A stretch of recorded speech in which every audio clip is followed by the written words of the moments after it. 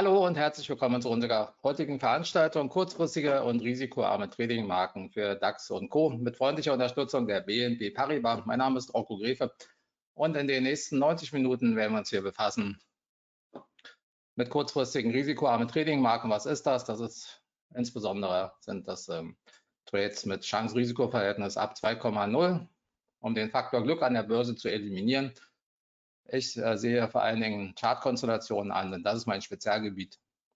Und ein paar taktische Tricks und Finessen sind natürlich wie immer auch dabei. Ihr könnt parallel dazu einfach Fragen stellen äh, im Webinar-Stream, der hier dazugehört. Das heißt, im Kommentarfeld der Webinar-Software. Und los geht's. Damit ihr alles ordnungsgemäß groß sehen könnt, schalte ich die Webcam zum größten Teil aus. Wir kommen mal zunächst zum DAX.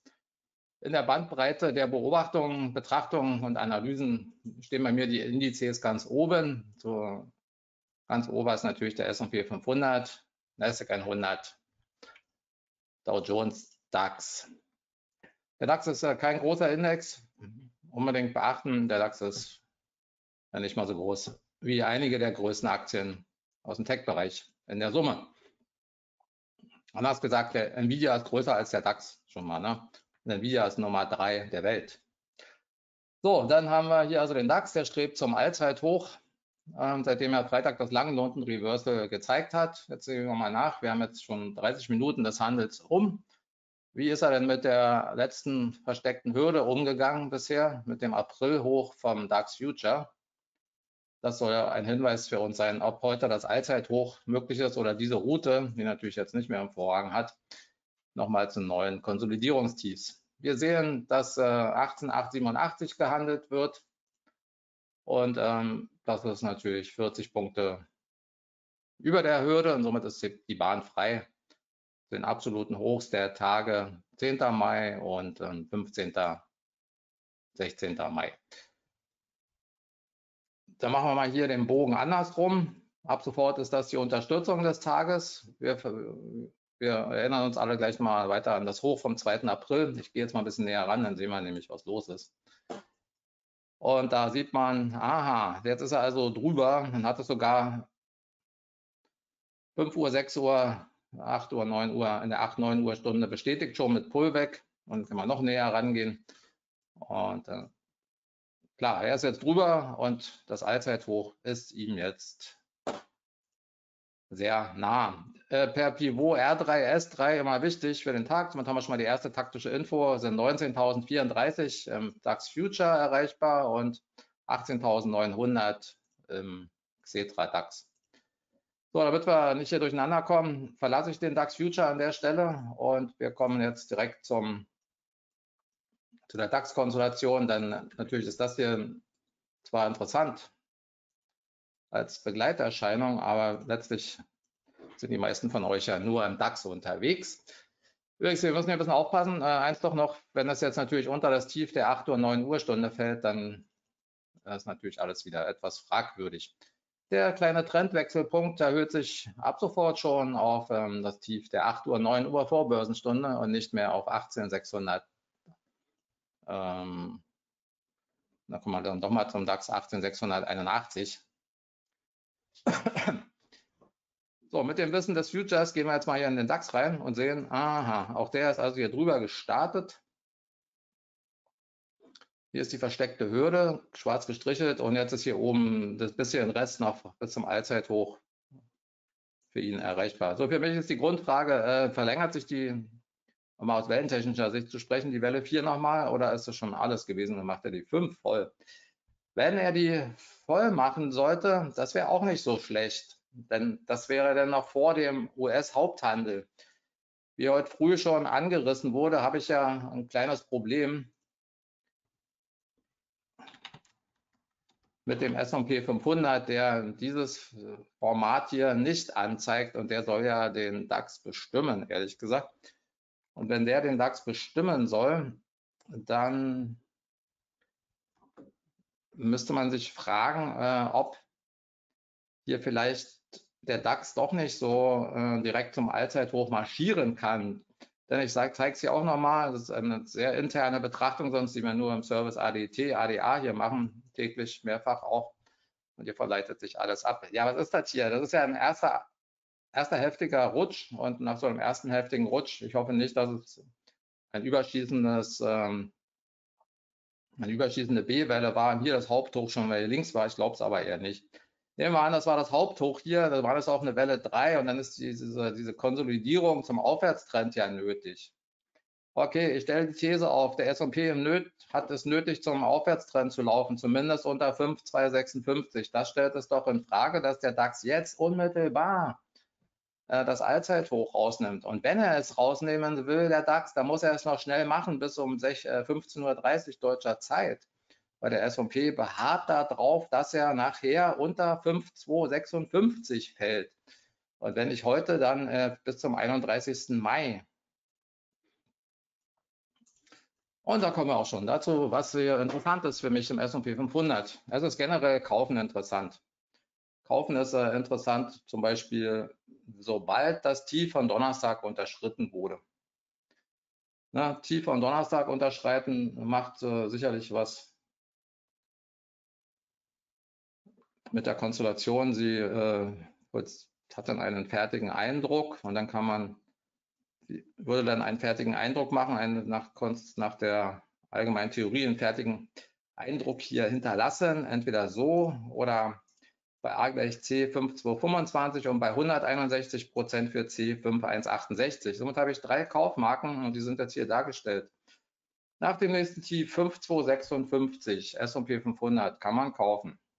5256. 5225. A gleich C. 5168. 161 Prozent von A für C. Das wäre dann auch der Aufwärtstrend und alles möglichst in nicht allzu ferner Zukunft, damit der Aufwärtstrend generell nicht unter Druck gerät und äh, zum Beispiel ab 1. Juni oder ab dem letzten Maitag dann eine weitere Anstiegsphase zu 5350 hier erscheinen, folgen kann. Soweit klar. Also das ist aber, äh, da der Markt extrem bullisch ist, wir sind in einer sehr markant ungewöhnlich bullischen Lage, getrieben von KI-Euphorie oder auch KI-Realität naher Zukunft alles steigert sich, die Effizienz der Prozesse der Firmen, Produktivität. Somit ist es dann nicht mehr Euphorie. Das ist dann die neue Ära der Menschheit. Sie wird aber nur getragen von wenigen Aktien. Im Zweifel von den Big Techs, bloß ein paar Anhängsel, die für die Big Techs die Rechenzentren bauen, also Arista Networks, aber auch Super Microcomputer und ein bisschen vielleicht ähm, bisschen vielleicht ähm, Cyber Security, um das Ganze ein bisschen zu sichern. Ne? Aber auf der anderen Seite hängen doch sehr viele Aktien in den Seilen und kommen überhaupt gar nicht hinten raus aus der Grütze sozusagen. Der Rest des S&P 500 ist relativ ähm, relativ gesehen schwach und senkt immer weiter die Gewinnerwartungen. Und da können wir mal kurz reinblicken in die Gewinnerwartungen. Äh, wir hatten da vor zwei Wochen in News Fundamentales und High Growth der ultimative Wochenausblick mit Valentin Schelbert und mir ähm, da mal eine Grafik herausgesucht, die das nochmal untermauert, dass wirklich die äh, Gewinnaussichten tatsächlich für die äh, S&P 500 Unternehmen nicht besonders vorwärts gehen, äh, sondern nur für eine Handvoll von Unternehmen hier. Also die Magnificent Seven erhöhen ständig ihre Gewinnerwartungen, während die blaue Kurve, die restlichen 493 Aktien in Summe, minus 2% die Gewinnerwartungen gesenkt haben seit 1. Januar. In der Summe ist das für eine S&P aber eine Null. Na, in der Summe der Addition der Gewinnerwartungssteigerungen von sieben Aktien und der Gewinnerwartungssenkung oder Stagnation von 493 Aktien ist das für den S&P ein Nullsummenspiel und ändert nichts an der äh, Gesamterwartung, zum Beispiel für 2025 äh, 277 Dollar. Na, 277 Dollar ist die Gewinnerwartung für äh, den S&P 500 fürs nächste Jahr und das wird ja schon, das spiegelt sich schon jetzt in den Kursen wieder und das ist immer deutlich überpowered. Das ist KGV 20,5 bis 21 ungefähr, was wir jetzt hier schon haben. Das ist normalerweise zu viel. Äh, wohlgemerkt, aber es ist leider aber auch kein wirkliches Hand, handfestes Indiz für irgendetwas. Ne? Es ist bloß so, dass man bei fundamentaler Überbewertung doch schnell mal auch äh, anfällig wird für Korrekturen, wenn irgendwas nicht stimmt, wenn irgendwo mal ein Sack Reis umfällt in China oder so, ne? dann kann es auch schnell mal dann andersrum gehen. Ansonsten kann ich es nochmal aktuell ausrechnen. Es ist halt ein bisschen zu hoch schon für nächstes Jahr, also für nächstes Jahr. Und die, die Steigerungen sind halt nicht zu sehen. So, 5.312 einfach ganz nüchtern durch 2,77 für nächstes Jahr sind einfach mal 19,2. Das geht noch.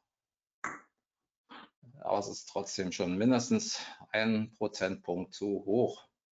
Ja, ich bin eher dafür, dass man tiefere Marken kauft, nahe 5000 für großes. So, für das kleine Kino, aber für den kleinen Trader, äh, das nächste Tief 5256, 5225, 5168. Wir müssen nur aufpassen, dass äh, der Index sich nicht unter 5125 drücken lässt und schon gar nicht unter 5010. So, und warum reite ich hier so lange drauf rum? Weil das nämlich ja abfärbt auf alles, auf Nasdaq, äh, Dow und DAX. Und wir haben hier Kanalausreizung, zurück zum Chart, Kanalausreizung, grüner Kanal, der war übergepowert in dem orangenen Überhitzungsdreieck, kam zurück in den Kanal und jetzt läuft er da seit Freitag ähm, so ein bisschen hoch. Der gestrige äh, Future-Feiertagshandel ist hier auch darin eingebettet und zu sehen. Gut, das heißt, dann für den DAX, ja, ist ein bisschen schwierig jetzt. Aktuell würde ich jetzt nicht sagen, dass ich irgendwas machen kann.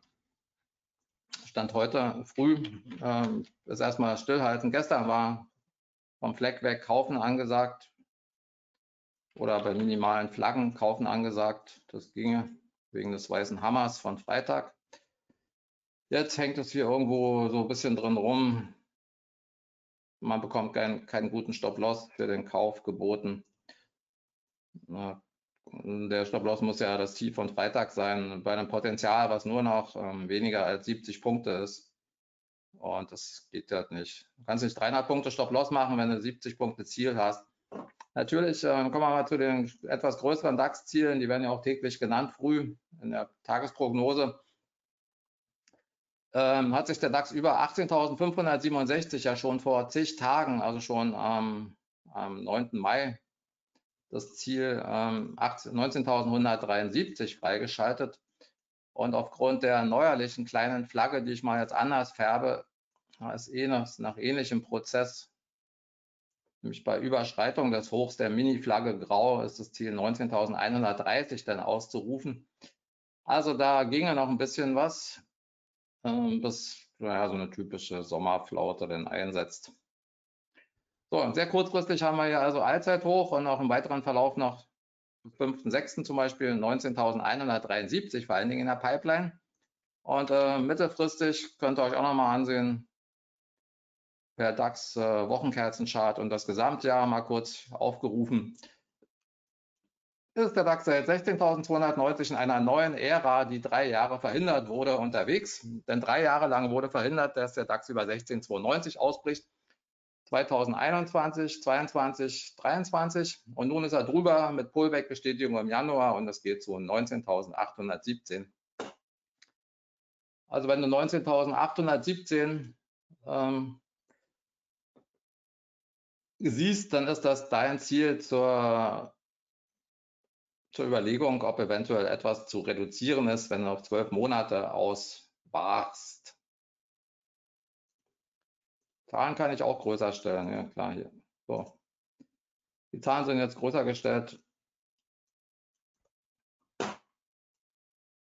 Zoom-Stufe Zoom 125 Prozent.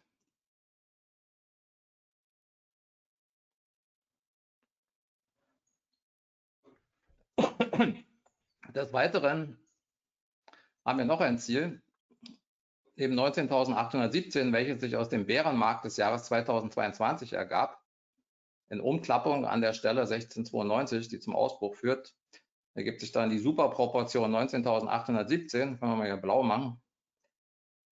Haben wir noch ein Ziel, und dann geht es um, eine Formation, die ja im, im letzten Sommer und Herbst aufgebaut wurde. Erstmal Nackenlinienbildung bei, erst eine Nackenlinienbildung bei 1692. Dann wurde eine rechte Schulter gebildet mit 11% Korrektur in Höhe der linken Schulter bei 14,8 gleichem Unterschuss und dann der Ausbruch über die Nackenlinie und die inverse SKS ist somit fertig und aktiv. Die Entfernung Kopf zur Nackenlinie angesetzt an die Ausbruchsstelle ist das Ziel für das nächste Jahr. Das ist dann 22.350 in diesem Jahr aber nicht erreichbar, weil der Jahrespivot R3 das verhindert. Also im Grunde wir drei Big Picture Ziele und solange 16.290 nicht unterschritten werden. So, und jetzt geht es bloß darum, äh, wie weit kann sich der DAX erstmal absetzen von einer Sommerflaute mit 10% Korrektur? Wie weit kann er sich jetzt noch absetzen? Wir sind schon im Übergang zur saisonal schwächeren Phase, Sell in May and Go Away. Diese Phase baut sich auf zwischen Mai und Juni und dann geht es so langsam los in die etwas schwächere Phase, wo dann auch mal diese 10% Korrekturen wie jedes Jahr zustande kommen. Letztes Jahr waren es 11, davor 19, 7,5, 15 ist übrigens hier fast Rekord gewesen im Jahrtausend. 15, 11, 16, 8, 12, 25, 17, 10, 14, 35, 11, 12 und dann kommen die ganz großen Zahlen, die schon ein bisschen länger zurückliegen. Wenn das jetzt 10 Prozent wären in diesem Jahr, dann ist es 17.000 Blatt. Merkt euch also, wenn jetzt keine weiteren Hochs mehr kommen und es kommt die typische 10 Prozent Korrektur, dann fällt der DAX noch bis 31. Äh, Oktober, Übergang 30.09., 31. Oktober, auch da gibt es eine Übergangszeit, äh, ziemlich genau auf äh, 17.000, nicht sogar exakt 17.000. Das ist der Klassiker, der kommt quasi äh, immer und nur die Rekordzahlen, 7,2 Prozent, dreimal im Jahrtausend waren weniger als 10 Prozent. 7,2, 7,5, 8,2. Aber im Schnitt sollen es dann schon 10 sein. Da müsst ihr euch langsam überlegen, ob das jetzt so eine Sache ist, um ein bisschen vorsichtiger zu agieren. Wir sind schon im Auslaufen der, wir sind schon im Auslaufen der ähm, saisonal günstigen Zeit. Jetzt ist der Mai auch fast noch rum, also wird es dann so langsam wirklich eng. Aber okay, es kann trotzdem immer weiter steigen. Äh, eins haben wir aber letztes Jahr gemerkt, die saisonale Schablone des DAX ist natürlich im Übergang ähm, dann Mai, Juni, so dass Ausbrüche nicht mehr standhalten, so im letzten Jahr. Ne? Die Ausbrüche halten dann eben nicht mehr stand. Und was hier das Ziel 16449 war, zu ähnlicher Gelegenheit im letzten Jahr, ist die Schablone, die saisonale, die ich aufgestellt habe. Auch nach so einer Korrektur, ein Ausbruch und noch so ein Ziel erreicht hier so ein ähnliches Ding wie 19.173. Da sieht man, wie es dann in Stocken gerät. 19. Mai, 16.06., 31.07. Das ist so ziemlich idealtypisch und hinten kommt das dicke Ende mit den 10 Prozent noch daher. Also das ist eine schöne Schablone auch für das laufende Jahr. Und ja, dann wird es langsam ein bisschen dünner, die Luft. Aber lasst euch nicht verrückt machen. Der, da der VDAX so extrem tief steht, ähm, ist einfach Buy and Hold. Ne? Es ist Buy and Hold, solange der VDAX nicht steigt. Aber leider ist der VDAX nun so tief, dass er gar nicht mehr weiter fallen kann. Ehrlich gesagt gab es den VDAX unter 12 in den letzten äh, zehn Jahren äh, oder noch länger. Jeweils nur für so einen Tag mal. Ja, wir sind nur einfach mal bei 12,1 gewesen vor kurzem und sind jetzt immer noch ganz nah dran. Ja, und was dann typischerweise passiert, ist dann eine VDAX-Explosion um 70 Prozent und dann kann der DAX auch mal 1000 Punkte fallen, so wie im März, April. Also einfach mal den VDAX weiter beobachten. Heute ist er leicht im Minus und der ist wirklich historisch tief jetzt hier. Und die 12,0 hat er wirklich nur für ganz kurze Zeit unterschritten, mal hier. Äh, also, nee, sorry, hier, wo sind wir denn? Hier. 12 ist wirklich ähm, extrem tief. Guckt euch das hier an. 12 einen Tag unterschritten am 17. Januar 2020 und dann ist der VDAX explodiert. Aber auch hier 12, also unter 12 will er nicht wirklich. ein Tag hier im März 2017 und hier war schon die größte Ausnahme äh, im Oktober, September 2017. Sonst immer bloß einen Tag drunter. Also entweder Alarm 12,0 stellen, Kursalarm 12,0 oder über äh, 13,0 das ein bisschen parallel beobachten. Ich werde dann Hinweise geben. Vor allen Dingen wird es interessant, wenn der VDAX beginnt zu steigen, während der DAX auch steigt. Das ist dann der Anfang vom Ende der DAX-Rallye. So, bisher ja, sieht man, also der VDAX hat sein letztes Tief gehabt am 23. Mai. Wir müssen natürlich ein bisschen beachten, dass ein kleiner Verfallstermin auch hier mal war und äh, das Ganze ein bisschen dann verwässert. Ich möchte euch bloß bisschen darauf aufmerksam machen, der VDAX steht so tief, dass er nicht mehr tiefer fallen kann. Aber tiefe VDAX-Level bestätigen den DAX-Anstieg. Äh, der, der, kleine Verfall war schon am 17. Also ist das hier wirklich ein echtes Tief. 23. Mai ist nochmal ein echtes Tief, aber mh, hm, jetzt schon 24., 27. und auch 28. Mai keine VDAX-Tiefs mehr. Da fängt es also schon ein bisschen an. Ne? Fängt es also schon ein bisschen an. Er kommt nicht mehr tiefer als äh, seit 23. Mai. Und wenn man jetzt, und dann macht man folgendes, man geht dann zurück in den DAX. Äh, 23. Mai, das letzte bestätigte Hoch durch den VDAX ist äh, einfach mal 18.767. Aber es ist minimal. Das ist minimal und bevor der VDAX nicht richtig explodiert, 10, 20, 30, 40 Prozent innerhalb von wenigen Tagen, und in, und in Prozentpunkten die 17,0 überschreitet, ist alles nicht so wild. So, gut. Der DAX ist sehr stabil und ist im Zweifel über den Freitagstief aufwärts gerichtet. So, jetzt gucken wir mal noch, äh, falls er heute noch mal ein bisschen Schwäche kommt, wo finde ich denn meine, eine, meine einzige Lieblingskaufmarke für heute? Wir gehen also zurück zum Intraday äh. Meine einzige Lieblingskaufmarke für heute ist einfach mal 16.006, äh, sorry, Edit ist 18.635. Meine DAX-Lieblingskaufmarke für heute, 8 bis 22 Uhr, im Kern 9 bis 17.30 Uhr, Haupthandel Xetra ist 18.635.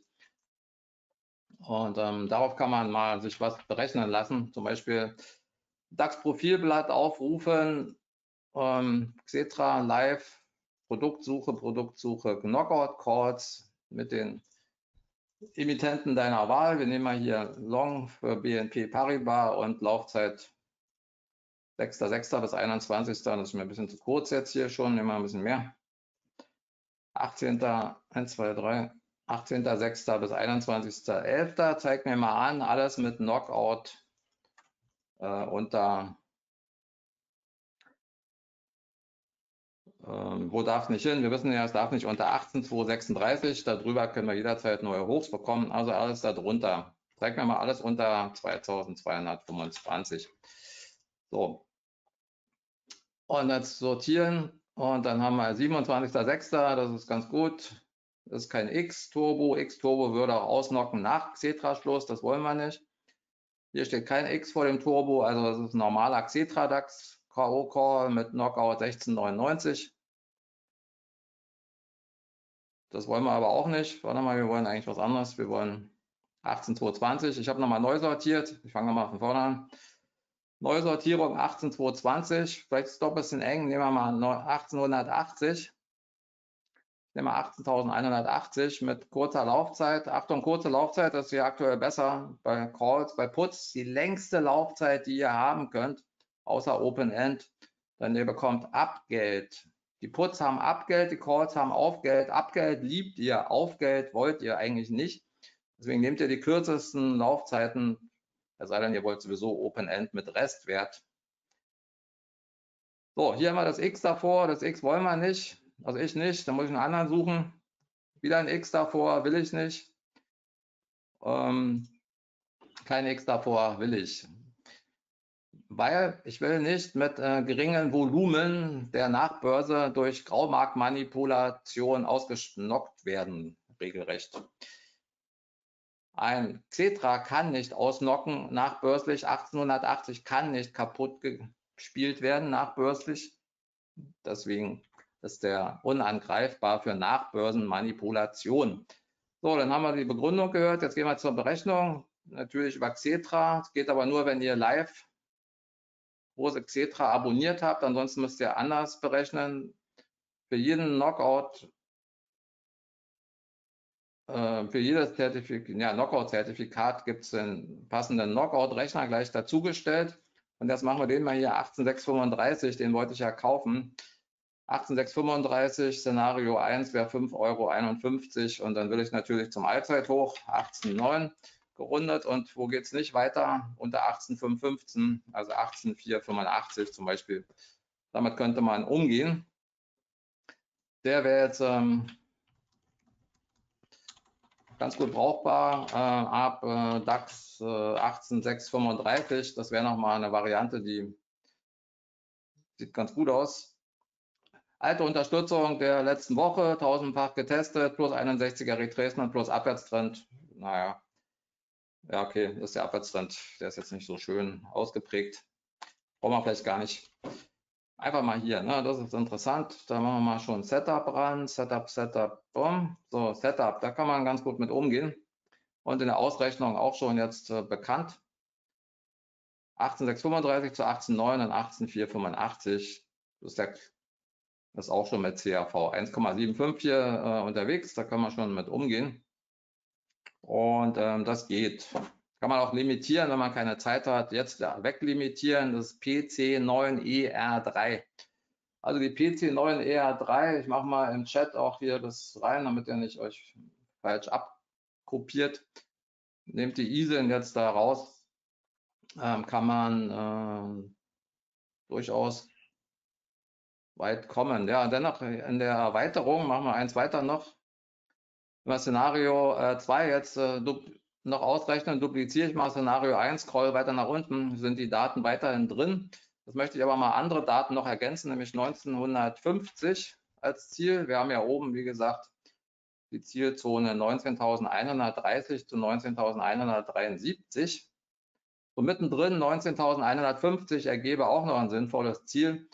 Den könnte man das Szenario 2 oder die Fortsetzung des Ganzen auch mit entweder in der zweiten Tranche äh, begleiten oder man nimmt die Komplettposition, die man eh plante und äh, verkauft sie zweifach mit der halben Stückzahl ähm, von der Stückzahl, die man am Anfang hätte nehmen wollen. Nehmen wir mal hier 0,33 und hier nehmen wir auch Risiko 0,33. Man kann das nämlich eingeben. Spuckt mir auch schon äh, der Rechner aus, wie viele Stücke ich für mein Depot nehmen darf, um 0,33 Prozent zu verlieren im Stop-Loss welches unter, welcher unter dem Tief der Vorwoche ist. So, typische Vorgehensweise, alles beides kann man jetzt limitieren. Das eine mit 151 Stücken, enger. Äh, und dann nochmal mit 151, weil der Stopp ist ja unverändert. Jetzt können wir hier den Stop-Loss noch ein bisschen weg, wegsetzen auf, äh, auf 4,35 vielleicht. Ne, jedenfalls ein bisschen anders als der hier, damit nicht alle beiden Tranchen gleichzeitig rausfliegen dann würde sich auch die Stückzahl verändern. Ich habe jetzt hier den Stop-Loss gesenkt für Szenario 2. Weil, falls der eine zufällig rausfliegt, muss ja der andere nicht rausfliegen, der 50 Punkte tiefer ist. So kann man auch jetzt seinen Stop-Loss verteilen. Ne? Den Stop-Loss unter der kritischen Marke verteilen, das ist ein ganz guter taktischer Hinweis. Also 4,85 und ähm, 4,35 zum Beispiel.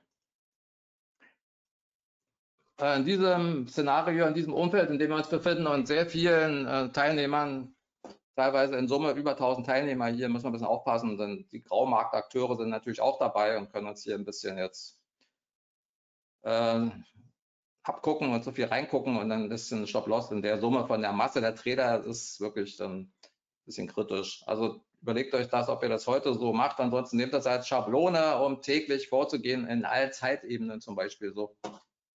Äh, und nicht unbedingt jetzt hier darauf vertrauen, dass das heute besonders gut funktioniert, weil zu viele das Sentiment verzerren, die hier teilnehmen jetzt gerade. So, ansonsten finde ich es ganz praktisch. Wir können das jetzt nochmal ansehen. Ähm, Stundenkerzenchart. Der Stundenkerzenchart hat übrigens genau jetzt um 10 Uhr seine Stunde beendet. Das ist jetzt exakt 10 Uhr. Es ist ein Stundenschlussausbruch über der kritischen 18777,77 mit dem FDAX 18839. Der Weg zum Allzeithoch ist bisher frei. Der Weg zum Allzeithoch ist frei, ohne dass ich jetzt hier eine Hand habe, hätte da zuzugreifen. Gute Information erstmal, der, der Ausbruch äh, über die kritische Hürde ist erstmal gelungen. So, dann gucken wir mal hier nach. Gehen wir mal noch eine Etage tiefer in der, in der Abteilung, äh, in der Abteilung 5 Minuten Kerzenchart haben wir seit 9.05 Uhr eine bullische Flagge. Wir haben eine bullische Flaggenbildung seit 9.05 Uhr, die jederzeit jetzt enden kann und zwar auf Pivot R1 auf Pivot R1 oder dem Tief der 9.15 Uhr, 920 Kerze 18.806, 18.84 kann äh, jederzeit jetzt Flaggenbildung enden und das Ganze sich fortsetzen. Mit anderen Worten, der DAX hat ein bisschen abgebaut mit dem ersten Kurs und äh, mit dem ersten Kurs abgebaut dann in Form einer bullischen Flagge. Das sieht man daran, dass äh, sehr viel Zeit vergeht, um eine einzige Kerze auszukonsolidieren. Taktik, wenn der, ein Basiswert, was, den ihr betrachtet, in egal welcher Zeiteinheit, viel mehr Zeit verbraucht, um etwas zu konsolidieren, ohne davor einen Anstieg kaputt zu machen, komplett, ist es immer eine Fortsetzungsmöglichkeit nach oben. So, wir haben hier also eine Kerze und wir haben hier zehn. Das heißt, zehn Kerzen waren nicht in der Lage, eine Kerze aufzurauchen, aufzubrauchen. Deswegen geht es eher weiter aufwärts. So, dann kann man hier nachsehen äh, für die Intraday-Zocker jetzt hier. Das ist ja dann, man spricht, viele sprechen dann auch, ich spiele heute, ich spiele heute dies und jenes. Da denke ich mir, ja, okay, das hört sich ja ein bisschen an wie Casino. Ich spiele heute, also vielleicht ist auch bloß so ein Begriff, den ich nicht, den ich mir nicht angenommen habe. Also ich spiele heute, äh, das ist nicht meine, meine Begriffswelt. So, aber es sieht danach aus, ne? es kann bald weiter steigen. Und was wir jetzt hier Stop-Loss, also wenn das Gap geschlossen wird, 761 geht es gerade noch, aber 758, 18.757,87 unterschreiten, das wäre jetzt schon ein bisschen zu viel des Guten. Ja, sieht aber nicht so aus. Sieht ja aus, als ob es direkt weiter steigen kann. Insofern, es ist halt, äh, ist die 18, 893, 18,9 winkt immer noch bis äh, zum Haupthandelsstaat der USA. Und dann, wenn er das wirklich so machen will, sagte ich schon, muss er sich echt beeilen. Ähm, denn der S&P will ja, soll ja eigentlich nach der Auswertung äh, ab heute ab 5.312 zu 5.256, wenn nicht sogar 5.225, 5.1368 fallen. So, 18804 kann man natürlich auch hier ausrechnen, 18804 bis äh, 189 mit Stop-Loss äh, 18757 minus x. Ich mache mal jetzt den konkreten Wert. Auch das gibt nochmal ein CAV von 1,98. Hier ist Stop-Loss, hier ist Start. Würde man jetzt verpasst haben, ist nur die Hoffnung, dass noch das Abschlusstief kommt. 1884, machen wir mal 5 ähm, könnte man auch hier äh, anfassen. Da würde ich aber auf jeden Fall weniger Risiko einsetzen, 0,25 oder so. Das ist ganz gut, wenn man Risiko und Prozent hier eingibt, dann werden die Stückzahlen sofort äh, ausgespuckt und natürlich sinken die dann, je tiefer man mit dem Risiko geht. Da hat es 11 Stücke noch und wenn ich hier auf äh, ein komplettes Standardrisiko gehe, wären es 1410 Stücke und, äh, und so weiter. Ne? Das kann man ganz gut managen. Also nutzt den Knockout-Rechner hier bei uns äh, auf dem Stock 3 Terminal. Dann natürlich die Order übernehmen ähm, in, in, das Order-Tool und von hier aus direkt weiter ordern zu einem hier angeschlossenen, zu eurem angeschlossenen Brokerkonto. Und es gibt zahlreiche Broker, die hier bei uns angeschlossen sind. Das heißt, ihr müsst nicht über euren Broker direkt die Seite aufrufen. Das hat auch den Vorteil, wir haben äh, tagesgültiges tagesgültigen Session-TAN und ihr werdet nicht rausgeschmissen, so wie jetzt zum Beispiel bei anderen Brokern, zum Beispiel, wenn ihr auf deren Seite direkt seid. Ihr müsst nur halt mal gucken, ähm, ob ihr hier euren Broker habt, mit vertreten habt und ähm, dann könnt ihr direkt in diese Order auch absetzen und sie wird dann natürlich, wenn ihr kostenpflichtig ordert, dann auch ausgeführt.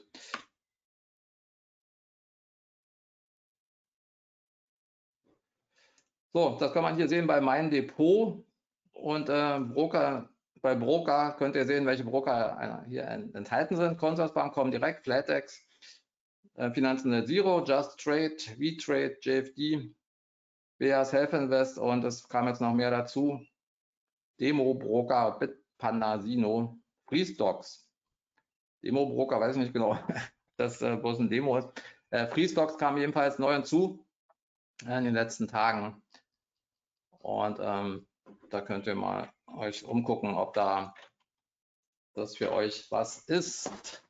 Es vereinfacht natürlich alles, vor allen Dingen, wenn ihr hier Experten folgt, äh, die Trades abbilden, äh, die Trades machen und ihr sie nachbilden wollt. Bei Interesse, ihr müsst dann nur noch eure eigene Stückzahl hier eingeben. Via ähm, Guided Trading, Guided Trading ist, äh, ich gebe die Order auf und äh, ihr bekommt eine Notifikation. Ihr öffnet die Notifikation, es öffnet sich das Fenster, eben das hier und ihr müsst dann nur eure eigene Stückzahl noch eintragen Fragen und ähm, selbst kostenpflichtig ordern, klicken.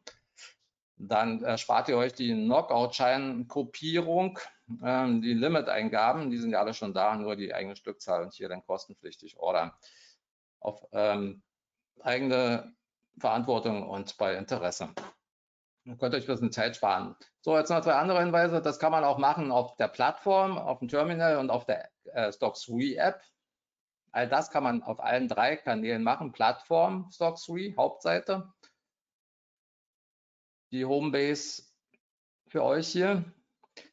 Davon abgeleitet natürlich auch ähm, auf dem Terminal, wo man auch die Chartanalyse betreiben kann. Und auf der Stock3 App. Und äh, eine Einschränkung gibt es jetzt hier für den Knockout-Rechner. Der ist momentan noch nicht auf der Stock3 App vertreten, weil ihr ab und zu danach fragt. Wenn ihr aber ausrechnen wollt, wie sich ein DAX-Knockout-Schein verhält, dann machen, gebe ich euch mal einen Tipp, ist ganz easy. Das machen wir hier auch seit, äh, im Kopf seit über 20 Jahren so, genau gesagt seit 2003. Da sich äh, jeder, quasi fast jeder Knockout-Schein, ob Call oder Put, so verhält, der DAX bewegt sich ein Punkt, dieser Knockout-Call oder Put bewegt sich ein Cent ab Zeitpunkt der Betrachtung. Betrachtest du also jetzt den DAX und siehst 18,825 und siehst hier in 7,39 Euro, dann kannst du ab diesem Zeitpunkt rechnen, ein Punkt hoch, ein Cent hoch, 10 Punkte hoch im DAX, 10 Cent hoch, 100 Punkte hoch im DAX, 100 Cent hoch im DAX und andersrum genauso. Das ist sehr einfach und lässt sich auch mit Excel äh, ganz gut machen. Ansonsten kann man es im Kopf rechnen. Das ist im Kopf ganz easy Rechnung. Das ist der ähm, seit über, ja, seit mehr oder weniger einem Vierteljahrhundert die Errungenschaft für Private, die jetzt mit Optionsscheinen und den ganzen Griechen nicht klargekommen sind. So, dann kommen wir jetzt hier zu dem ähm, hoffentlich noch Event, das hier noch fehlt, nämlich das Unterschreiten von einem 5-Minuten-Kerzenchart von 18.803,95 und dann könnte es tatsächlich weiter aufwärts gehen, es sei denn, es fällt unter die, äh, diverse andere Dinge zurück. 18777 und vor allen Dingen 18757 wäre für den Vormittag schon Trend K.O. So, jetzt gucken wir mal kurz nach den Fragen. Ähm, und äh, ob jetzt Fragen da zu dem Thema kamen, ansonsten gehen wir mal zu was anderem über. Ähm, jemand möchte nach dem DAX-Short am Allzeithoch äh, eventuell absetzen. Ja, generell wird sehr viel nach Short gefragt, aber Short ist grundsätzlich ja nicht der richtige Weg bei dieser extremen, stabilen äh, Performance, äh, nicht Performance, ja, DAX-Performance und äh, Marktperformance, durch, getrieben durch KI. Äh, KI-Ära der neuen Mensch, äh, neue Menschheitsära, ja, KI getrieben oder Hype, wie auch immer ist das alles hier sehr stabil und grundsätzlich gilt dann ja auch noch, der Markt wird durch Inflation sich immer weiter hochentwickeln über die nächsten Jahre, Jahrzehnte. Der Markt ist immer weiter gestiegen. Der Markt kann nur 100 Prozent fallen. Meist fällt der Markt 20 Prozent, steigt dann aber hunderte Prozent. Äh, das Shorten an sich ist ja so ein bisschen äh, tricky auf Dauer. Ne? Ja, also Taktik, äh, Taktik aufwachen, jetzt mal Taktik nochmal. Äh, klar, du kannst shorten immer am Pivot R3, kann man shorten, nicht wegen Allzeithoch, sondern wegen Pivot R3 und Allzeithoch kann man heute shorten. wenn man es dann unbedingt möchte. Und ähm, deshalb ist auch untenrum der 18635er Kauf heute besonders gut abgesichert, weil Pivot S3 ist 18618. Dadurch, dass ich die Zahlen größer gestellt habe für euch, müsstet ihr die sehen. Das ist die Gesamtspanne für den Tag und dann ist natürlich der 8635er Abstauber heute sehr interessant, weil eigentlich kann es ja kaum unter 618 fallen, geschweige denn unter 516 fallen. Ja, das sieht dann schon ganz gut aus. So, dann machen wir kurz noch die Taktikbeschreibung. Wie wird das denn funktionieren? Also du kannst jeden Morgen, eigentlich kannst du schon am Abend, weil Pivot R3, S3 für den Xetra siehst du schon, siehst du schon nach Handelsschluss. Oder rechnest dir das Ding zu Fuß aus. Du brauchst dafür Eröffnung, Hoch, Tief und Schlusskurs. Diese vier Marken gibst das in der Excel-Sheet ein und dann hast du die äh, Werte für den Folgetag. Sobald du die hast, kannst du eine Order absetzen. Zum Beispiel könntest du heute früh um 9 Uhr, okay, hast du noch Zeit gehabt vielleicht, oder 8 Uhr, bevor du ins Büro gefahren bist. Für alle die, schöne Grüße, dass du jetzt erst das Video ansiehst. Äh, verspätet, ist nicht schlimm. Also wir haben heute hier nicht so akute Dinge für den Vormittag unbedingt besprochen, und, äh, sondern eher den Verlauf für die ganze Woche und die Gesamtsituation. Äh, gerade du, der du da nicht so viel Zeit hast und im Büro sitzt jetzt und erst nach 17 Uhr das hier ansiehst, in der Aufzeichnung von unserem Stock 3 YouTube-Kanal, wird das, erscheint das ja hier nachher alles nochmal, kann man äh, jeden Morgen äh, die R3 und S3 Order absetzen, also Short R3 und Long S3. Die Wahrscheinlichkeit, dass man da jetzt besonders oft in den Stop-Loss gerät, ist nicht hoch, also gering. 18.9 und 18.618. Wenn man das jetzt noch kombiniert mit den dazugehörigen Chart-Merkmalen, zum Beispiel das Hoch hier vom 15. Mai, dann ist das ja irgend so ein Mittel, gemittelter Wert zwischen 18.893, 18.9.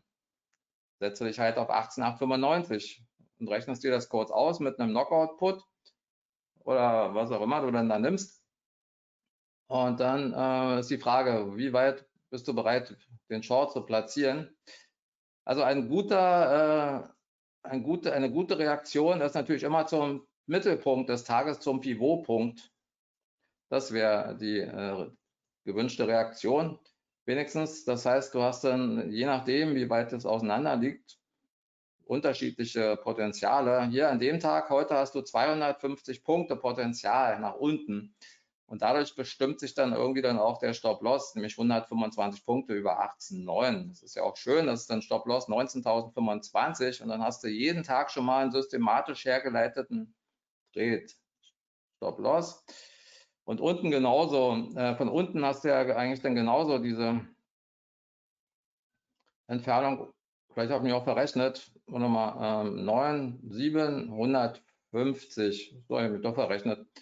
150, also das sind äh, 75 ungefähr, also muss man hier so. So, ich hatte mich ähm, 100 da verrechnet oder in der Eile. So, wir haben also die Entfernung hier. Notfalls rechnet mit dem Rechner aus 18,9, 750 im Schnitt. Das sind ja 150, 75 mehr, äh, noch plus 3, 78. Also, so, das ist jetzt korrekt. 18,9, 78 ist Stop-Loss, um die doppelte Chance zu haben zum Risiko. Hier genauso.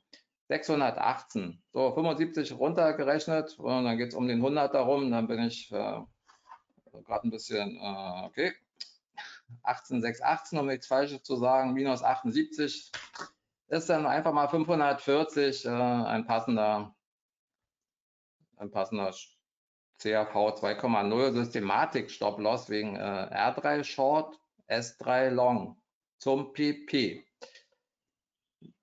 musst dann musst diese drei Eckwerte wissen, wo sie sind. Und dann kannst du es äh, schon mal jeden Tag machen. Aber ihr müsst den Xetra nehmen.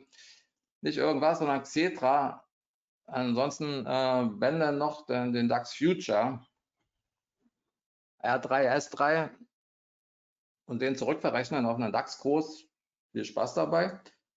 Alternativ eine Indikation nehmen, die dem Future sehr ähnlich ist. Das geht. So, du hast gefragt, also Short am Allzeithoch. Also generell ist das Allzeithoch zum Reduzieren von Long-Positionen geeignet, weil es äh, ein gewisses Ende sein kann für einen Anstieg. Er lässt sich aber noch toppen in den nächsten Tagen auf, wie gesagt, 1930, 19, 1973. Schöne Grüße an alle, die 1973 geboren sind. Das ist gerade euer Kursziel, 19.173, 1973. Das ist ein Kursziel vor einem weiteren, vor einer weiteren, vielleicht etwas größeren Korrektur. Es geht aber auch der hier, der würde dann, falls, vor allen Dingen, wenn sich der DAX heute sehr beeilt, gut passen. Äh, Allzeithoch 18,9, dann 18,5, dann, dann 19,1 und äh, dann erst Sommerkorrektur. Das geht auch ganz gut, eventuell. Bin nur gespannt, ob der DAX es noch schnell schafft, äh, dahin zu kommen zum Allzeithoch, um seinen Komplex hier abzuschließen oder äh,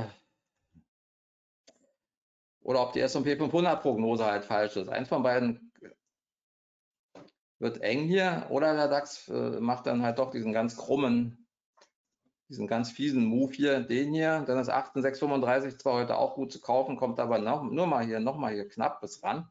Verfehlt es dann auch, kommt hier hin und steigt dann erst ab, ja, also ich glaube ab Montag dann, ne? Montag war es dann kritisch.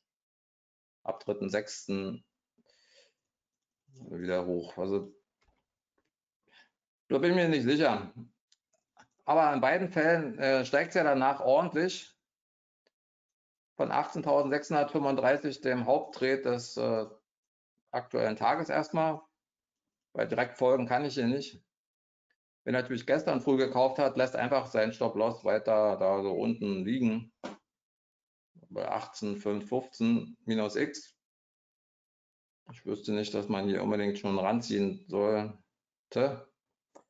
Ja, es gibt so drei, vier We drei Wege noch bis da oben hin. Ne?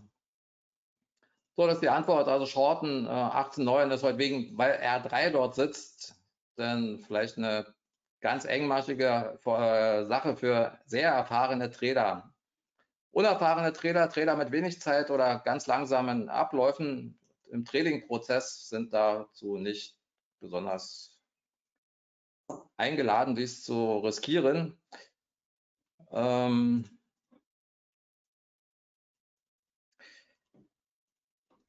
und wenn, dann muss es automatisch sein, automatisch alles geordert, Start, Ziel, Stop, Loss, wie in, der, in dem täglichen Pivot-Trade auf beiden Seiten, den man machen kann. So, jetzt gehen wir mal weiter.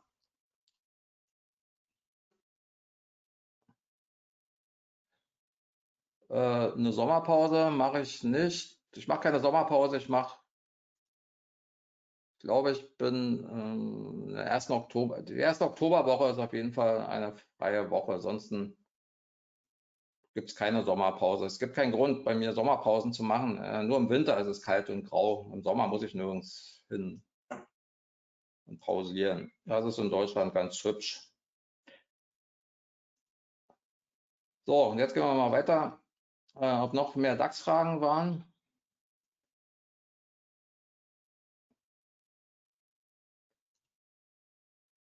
Äh, Discount Put, das sind so Geschichten. Ne? Ihr wollt jetzt Putz und äh, ihr wollt Putz kaufen. Ihr geht also genau auf die Put-Schiene. Okay. Aber die Put-Achse ist halt äh, eine schlecht besetzte Achse, egal wie, wo, an welcher Stelle. Ihr müsst immer nur eigentlich nur fragen, wo soll man denn kaufen? Und die Antwort war schon gegeben, 17.000. Äh, für große Käufe und für heute 18.635. Ja, das, solange ihr nach dem Putz fragt, wird der DAX einfach weiter steigen und euch zerstören mit dem Putz. Also ist nicht gut. Ne? Short, Short, Short, immer nur Short. Ich lese nur Short. Ich sehe gar nicht, wo jemand kaufen möchte, ehrlich gesagt. In den Kommentaren. Ich glaube, das ist nicht so gut. Auf Dauer. So, jetzt kommen wir mal zu was anderem. Wir wollen mal weg hier wir haben nämlich lange genug äh, jetzt zwei Indizes beackert. Jetzt gehen wir mal kurz ein paar Aktien. Also erstmal, ähm, diese Woche ist nochmal äh, eine Sache bezüglich Quartalzahlen. Und das ist der wichtigste Kandidat ist diese Woche Salesforce. Salesforce ist äh, Dow Jones Aktie und macht äh, folgendes, äh, bringt Quartalzahlen raus am Mittwochabend. Das ist wichtig zu wissen, da habe ich ein Auge drauf. Aber die Frage, die mir jetzt ins Auge sprang, ähm, wie geht es weiter mit Alphabet? Ja, Alphabet ist ausgebrochen, äh, war Aktie für den April, ihr wart ja hier dabei, Ende März. Aktie des Monats April angesagt. Alphabet soll ausbrechen über 152. Das passierte direkt dann am 1. April. Wir hatten hier unsere Veranstaltung vor allen euren Augen live und kostenlos. Und seitdem ging es eigentlich bloß noch aufwärts. 151 wurden direkt überbrückt, Pullback, Pullback und mittlerweile 180. So. Jetzt auch die Frage, wie es weitergeht. Na, grundsätzlich geht es über 152 zu 220. Wiederhole ich die Aussage. Das ist ja der, der Witz dabei. Big, big, big. Es war der Big Picture Ausbruch und es geht zu 220 nach Ausrechnung bedingt durch das Prozedere, was alle Indizes gerade durchlaufen, Ausbruch über die Hochs von Ende 21, Anfang 22, betrifft DAX, S&P, Nasdaq, Dow, alle machen das Gleiche und alle guten Aktien ziehen mit und wenn sie mitziehen, sind sie die interessanten. Alle, die das nicht machen können in diesem Jahr, lassen wir möglichst unter den Tisch fallen. Es sei denn, wir haben Ausnahmesituationen, äh, die dazu den Anlass bieten.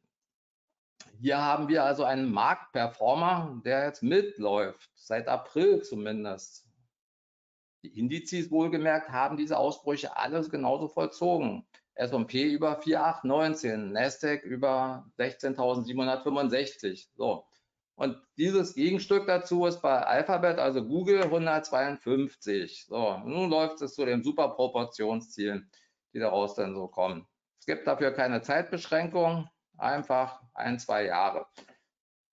So, ähm, ähm, bei Google Alphabet sind es halt 220 und bei ähm, S&P ist es 5880 und im Nasdaq 100 22.465. Das ist alles synchron. Das zudem bei allen bei, bei allen Indizes von dem hoch zu der Superproportion und das ist proportional dann für jeden Index ein bisschen ein anderer Wert logischerweise und für die Aktien auch.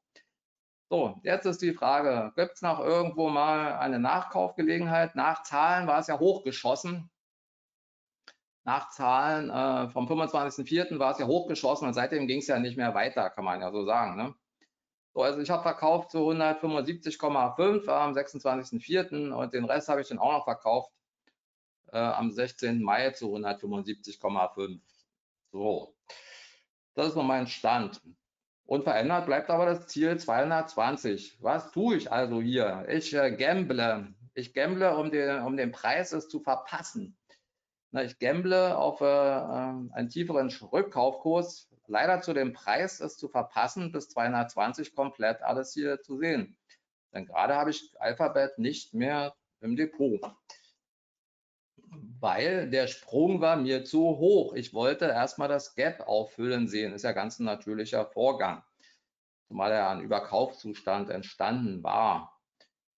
So, naja, und nun ist ja die Ursprungssache gewesen, ja, es läuft hier zum Gap. Ich kaufe 162 zurück, war die Aussage schon und dann bei mir am 26. April.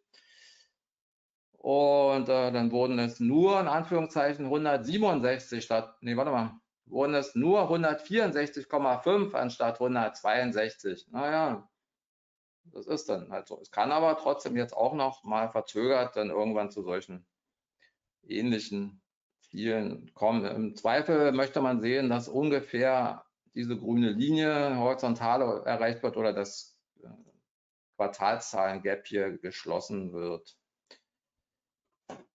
Äh, ist aber nicht äh, gesichert. Es kann aus allen Lagen weiter durch die Decke schießen, ehrlich gesagt. Ne? Es kann aus allen Lagen durch die Decke schießen. Das ist ja der Witz dabei. Die, die, das ist ja einer der Kandidaten, die ja alles tragen, die, den ganzen, die ganze Performance des Jahres nach oben tragen und auch schon die Performance des letzten Jahres tragen. Sieben Aktien tragen die Performance und jetzt sind es nur noch sechs. Tesla trägt nämlich nicht mehr mit. Apple hat sich nochmal aufgerappelt. Und ähm, ja, na gut, dann kann man auch sagen, über 180 geht es direkt weiter. Unter 180 kann man ein bisschen nochmal ein paar billigere Kurse bekommen. Soweit die Antwort, wie geht es weiter mit Alphabet? Das Ziel ist 220, Nachkaufschancen immer noch 162, 158.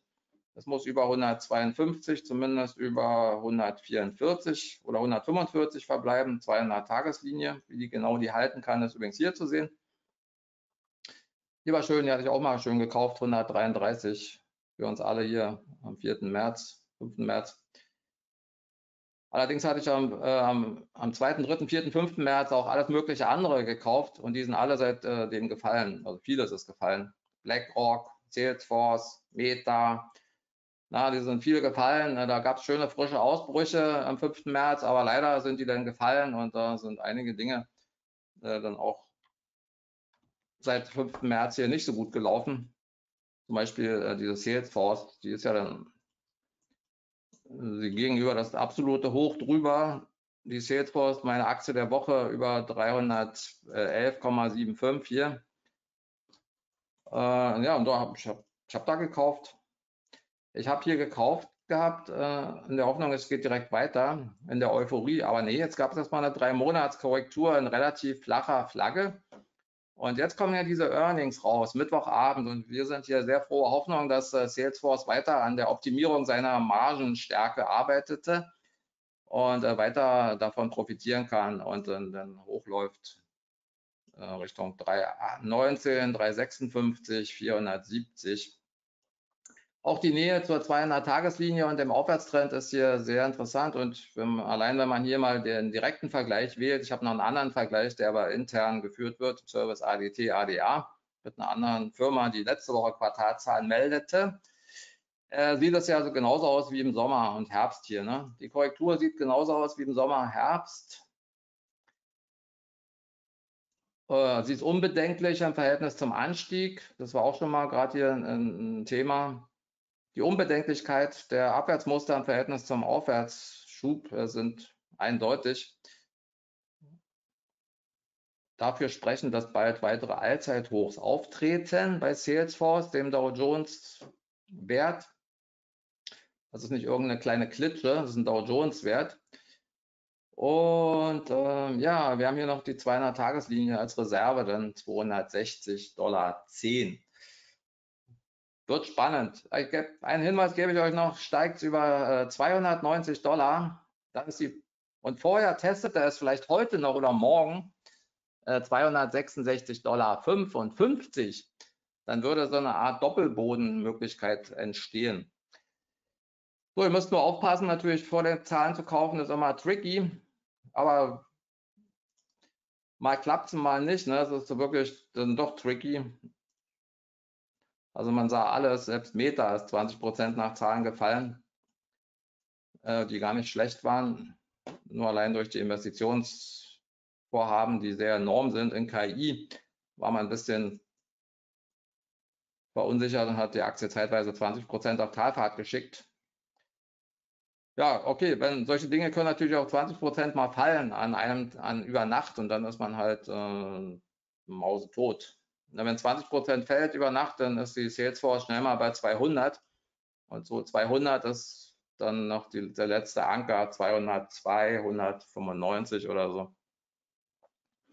Das ist so der letzte Halteanker. Und aufzugeben hat man Salesforce, damit auch jeder ein Korsett hat und nicht einfach wie ein Revolver hält durch die Gegend schießt.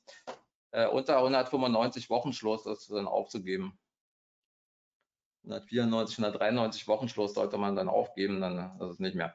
Aber Favorit ist, das Ding hält hier 106, 266,5, 260,10, geht über 290, geht zu 319 und über 319 zu 356. Das kann sich nochmal verschieben, je nachdem, ob hier ein neues Tief erscheint, geht das Kursziel dann höher.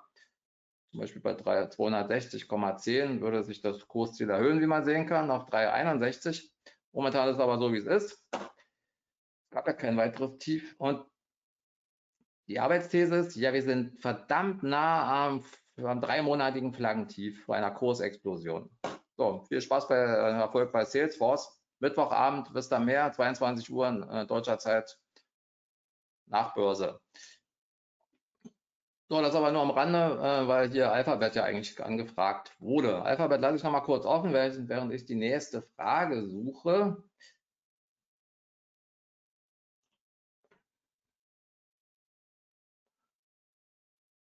Äh, wie, wie Gaps zu behandeln sind, wenn sie auf beiden Seiten sind. Ja, erstmal Gaps müssen nicht geschlossen werden. Da musst du jetzt keine Gedanken machen. Wir haben hier also Daimler Truck Gap wurde angesprochen. Dann kommen wir zu einer deutschen Aktie auf beiden Seiten. Ja, wir haben hier ein Gap und hier ein Gap. Na, hier sieht es ein bisschen so aus, als ob äh, das Gap erstmal unten geschlossen wird. Und die exakte Frage dazu, ob ich schon mal die Situation hatte, ja, sie tritt sehr häufig auf, dass Gaps auf beiden Seiten sind. Die Gaps sollten dich nicht zu sehr belasten. Sie spielen jetzt nicht so die Rolle.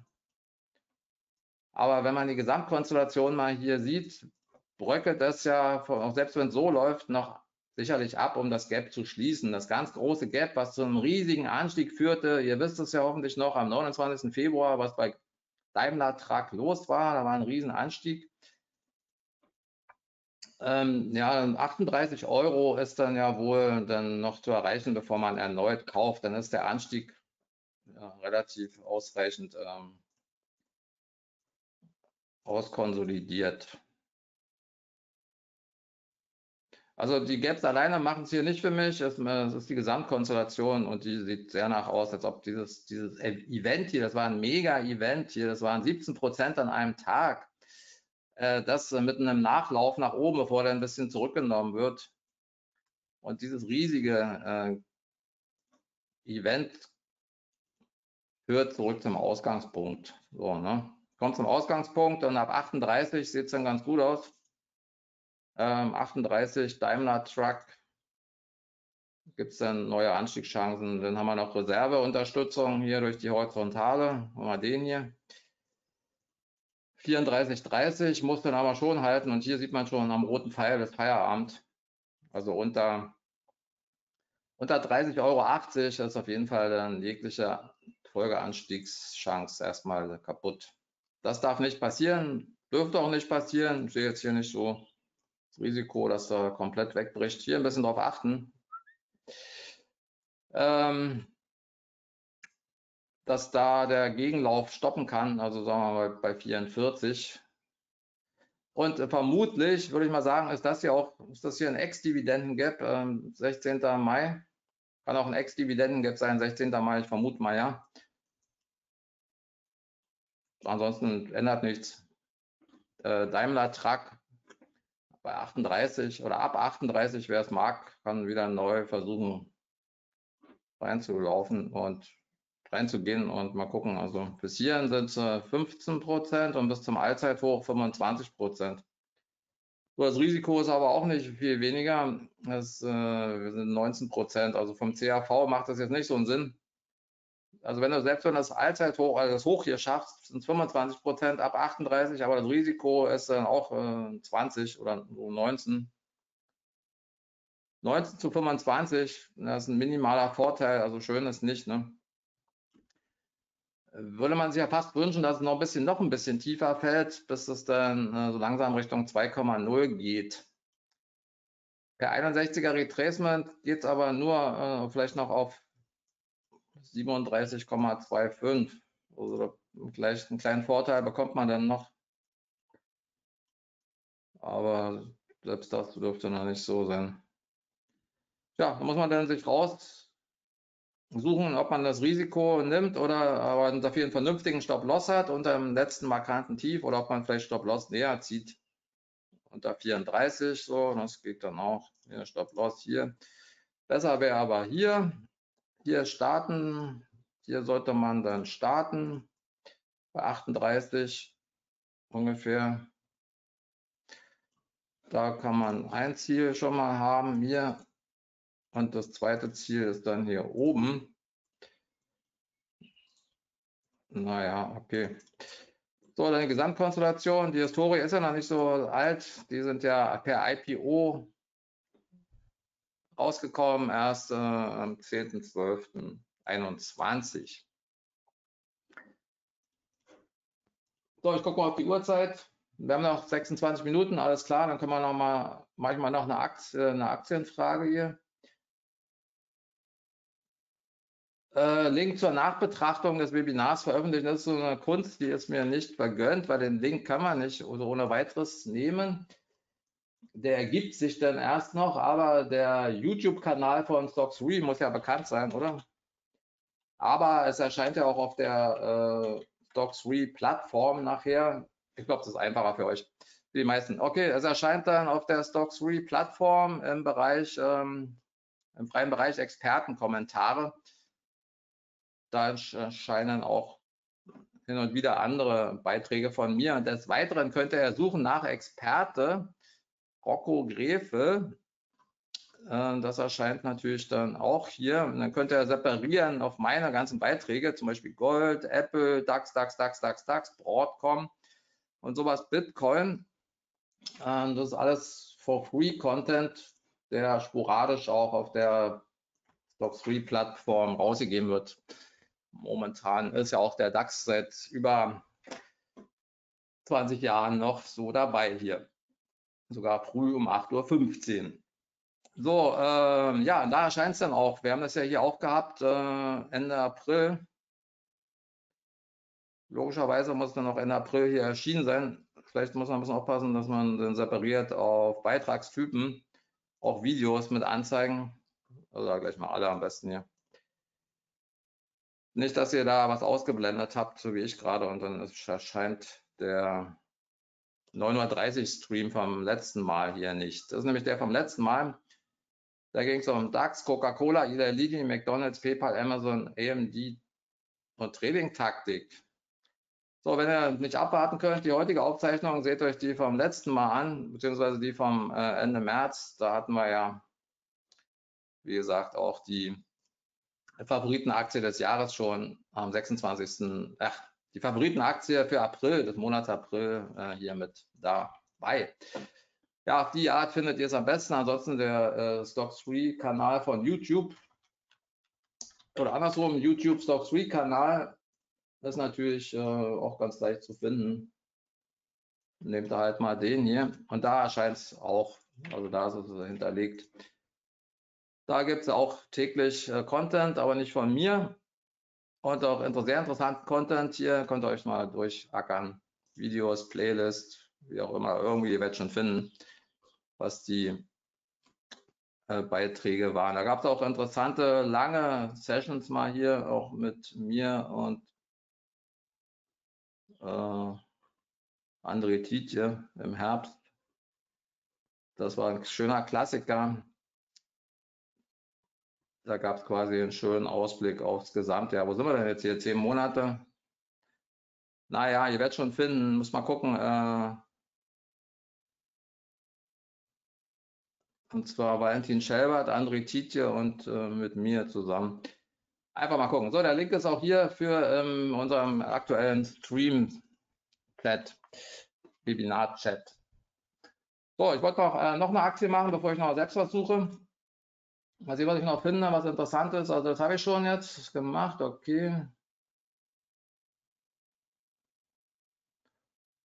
Äh, nochmal was Technisches ist angefragt, was Technisches, mal gucken, äh, wie wir das hier beackern können. Und zwar die, auf die Kursstellung soll ich eingehen. Welche Kurse verwenden die Emittenten für Index und Aktien in Deutschland und USA? Ja, die verwenden ihre eigenen Kurse, würde ich mal sagen.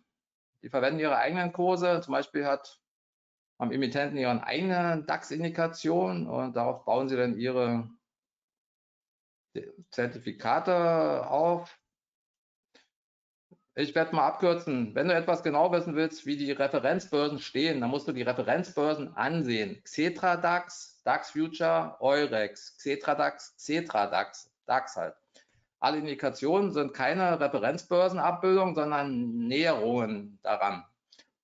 Und die können teilweise abweichen.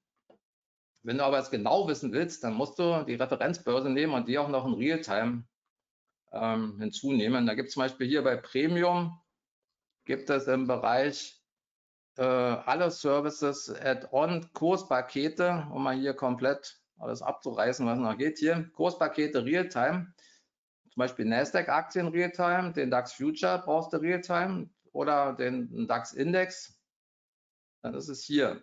Oder die, den VDAX Realtime, das sind so dann Zusatzpakete, Kurspakete, Add-ons. Da geht es nur darum, dass die Kurse live takten. Da geht es nicht um Content, nicht verwechseln. Sowas ist nicht in, äh, in Trading Service enthalten. Das ist einfach, das sind Realtime-Kurse, von denen der Anbieter verlangt, dass wir Geld bezahlen und wir leiten natürlich den Betrag nur an dich weiter. Da haben wir gar nichts mit zu tun. Ähm, das ist einfach so geregelt. Man darf Referenzbörsen nicht in Realtime einfach kostenlos äh, anzeigen. Deswegen gibt es da diese Add-ons. Du kannst es dir natürlich beschaffen. Ja, mehr gibt es dazu eigentlich nicht zu sagen, ehrlich gesagt. Aktuell ist mir noch aufgefallen, dass die, die Indikationen, weil, der, der, weil ja der äh, Hexensabbat, der zweite große Verfallstermin des DAX näher rückt, doch relativ nah wieder herangerückt sind an den äh, Referenzbörsen DAX zum Beispiel. So, dann interessant noch, ähm, Nvidia Aktiensplit haben wir ja bald, richtig? Wir haben einen Nvidia Aktiensplit 10 zu 1 ab 7.6. Äh, ne, es hat keinerlei Auswirkungen auf Knockout-Zertifikate. Keine Angst. Nicht, äh,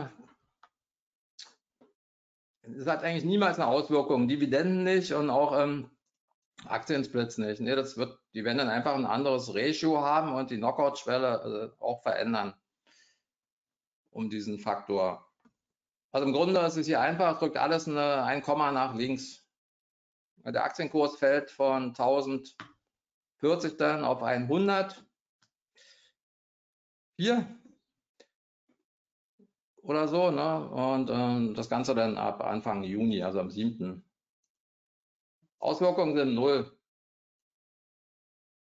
Ja, äh, was wir hier machen, das könnt ihr bestimmen. Ihr müsst nur sagen, äh, ihr müsst euch nur äh, hier einfragen einfordern. Fordert ein, was ihr sehen wollt, was ihr hören wollt. Ich, äh, werde es euch erzählen. So, dann äh, zum Thema Discount Put. Ich weiß nicht, ob ich da bin ich ein bisschen drüber weggegangen. Alles kostet Geld. Wenn ihr im Sommer hatchen wollt, das kostet alles Geld. Der, der Erfahrungswert sagt, das ist nicht, ähm,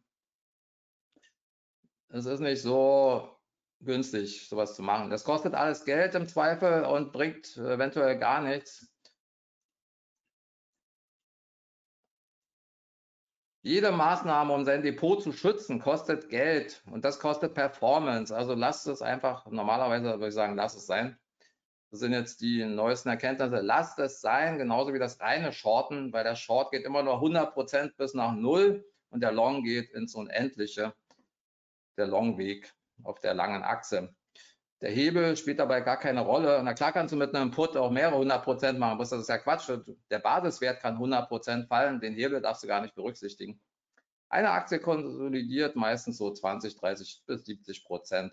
Danach steigt sie aber 300 bis 1000 Prozent. Die Frage, ob man shorten kann, hat sich damit geklärt. Zumal du immer gegen Inflation, Innovation, äh, Produktivitätssteigerung arbeiten musst. Ähm, deswegen kaufen.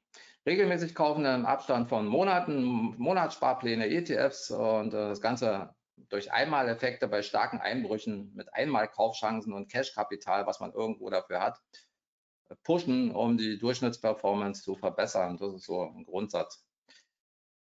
Wenn das zu schnell ging, der Frage einfach nochmal nach. Ansonsten seid ihr dafür selbst verantwortlich. Ich kann euch da gar nicht beraten. Das heißt, ich darf euch da gar nicht beraten. Ich sage nur, was ich selbst mache in diesem Fall.